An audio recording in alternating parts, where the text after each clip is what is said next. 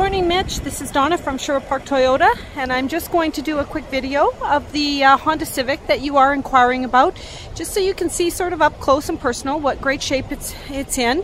Um, you can see the tires here. They are in good condition. Just going to do a little bit of a walk around. So this is not an ordinary Honda Civic. As you can see, it's the SI. Beautiful condition, very well taken care of.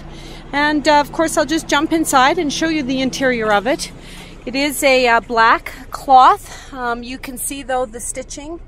Uh, it has the red stitching, which is a really nice accent.